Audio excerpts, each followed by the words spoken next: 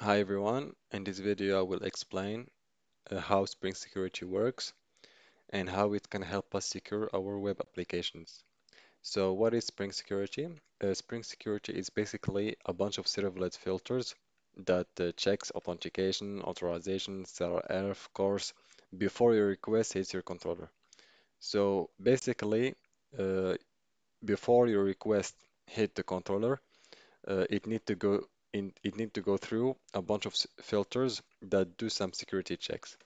And a servlet uh, filters is simply an object, a Java object that perform a filtering task at the pre-processing and post-processing of a request.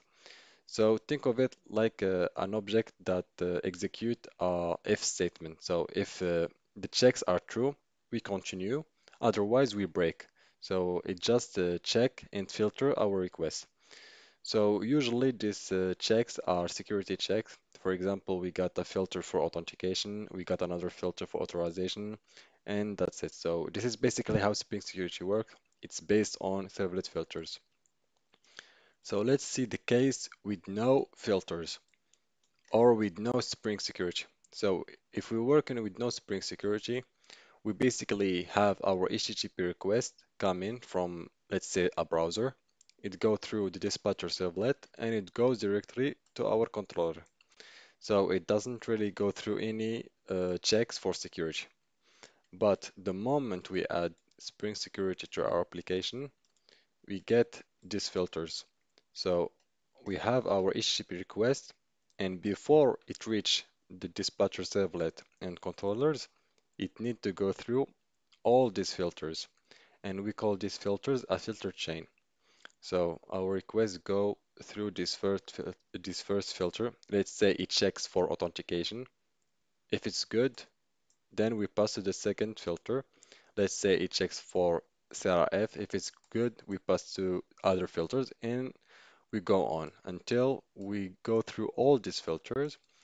And if it's uh, if it's great, if it's good, then uh, the request reach the controller.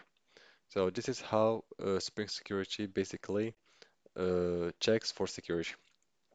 And let's suppose, for example, this is the filter that checks for authorization and it fails. So what Spring Security uh, does, it will break the filter chain and it will return a 41 or 403 error to the browser. So it won't the request won't actually uh, arrive at the controller because uh, it didn't uh, require and didn't uh, uh, the filter was not uh, was not checked. So this is how Spring Security works. It works thanks to these filters. And you might say that it's pretty complicated to actually ch uh, change these uh, filters, but the thing is, as a developer, uh, you don't really need to touch these filters. These filters are actually built in by, uh, by Spring Security by default. So as a developer, uh, you only need to configure this filter to your need. So if you want to customize these filters, you can do it easily without actually touching the, these filters. And now let's take uh, an example. Let's say I have this uh, application that return, I have these two endpoints, cats endpoints and hi endpoints that returns uh, hi. And uh, this application is not really secure anyone can access uh, this uh, application. So I want to make it secure. So how do we do that? Okay, so as I said, we, we use Spring Security. And uh, I will go ahead and add it to my pom.xml file. And uh, you just add the dependency for uh, Spring Security. I will also add testing uh, module. And I import my new added uh, dependencies Okay, great. So now I will execute my application again and we will see what what will happen. Okay, the application is running. Uh, let's check again. And uh, our application is secure right now by default. we can't really access our endpoints. So if I try to access hi, I can't. If I try to access cats, I can't. So this is the default uh, security uh, that implemented in Spring Security. And if we go to the console right here, we can actually check all the filters that are uh, used by Spring Security, the filters that I talked about earlier.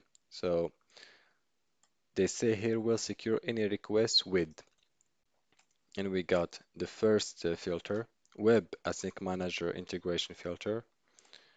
We have the Security Context Persistence Filter.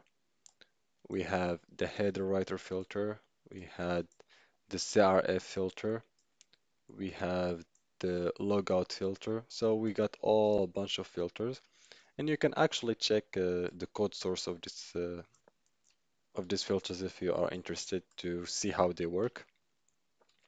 For example, this filter.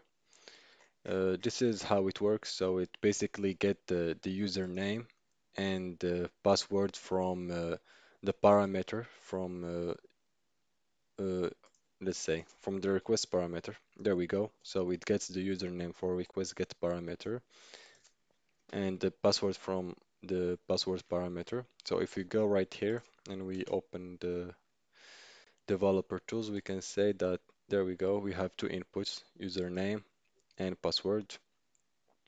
And this is how this filter works. It takes these two inputs and do some authentication checks. Uh, we also got uh, others uh, filters, obviously.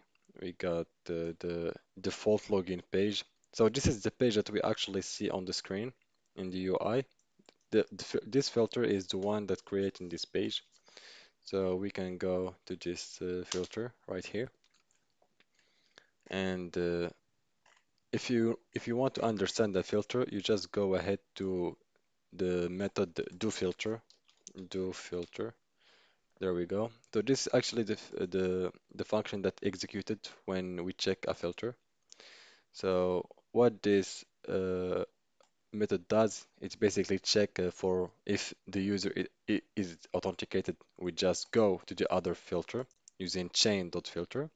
Otherwise, we return an HTML page, this one, this page right here. And this page right here is the one that we are seeing here. So this is the filter that actually creating this page.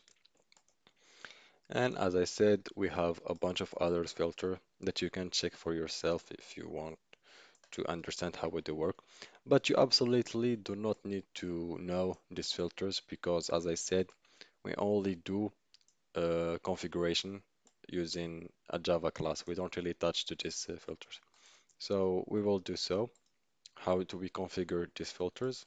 You just create class, call it whatever you want. I'm gonna call it security config.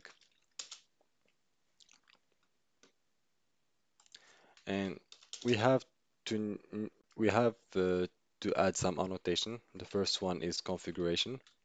And the configuration means that we are we will be returning some beans in this uh, uh, in this uh, class. Another uh, annotation we will add is enable web security. So the thing we want to do actually here is we will extend a class. It's called web security web security security configure adapter and this is the default uh, this is the class that are that are doing all of this this stuff right here. So we, we will override so we can add our cust a custom uh, uh, custom thing so we will be overriding some methods and the first method we'll be overriding is called uh, configure. Override method there we go. And we will be overriding this one this method. And we can check how this method is working. And by the way this is the default uh, this is default uh, this is what we are working with right now. So we can actually this is what Spring Security does by default, it just uh, any request that we are having, it should be authenticated. And we go through this form login in HTTP basic. I will actually do the same thing. I won't really add be adding that much. I will just leave the same uh, thing, but I will change uh, this authorized request. So what I'll be doing is I will be allowing some request. And how do we do that? I use ant matcher. In ant matcher, just give it uh, what uh, you just give it a pattern basically, and I'll give it the slash cats. So I want all uh, the requests that are slash cuts. I don't want them to be authenticated. So I just add permit all. So I'm, I'm permitting, I'm leaving this request uh, with no security. But for any other request, it should be authenticated. So only for slash cats that I want it to be permitted. But for all the other requests, it should be authenticated. So let's do it. Let's stop and rerun. Okay. uh, let's uh, reload and let's say I want to go to hi. They won't let me. But if I go to cats, I actually can do that. I get the result because as I said uh, right here in this method, I permitted the slash cats pattern, so it won't actually get authenticated. So I can, uh, thanks to this method, I can customize my Spring Security, uh, how uh, Spring Security control my request. Let's say I want to disable, for example, CSRF. I can absolutely do that.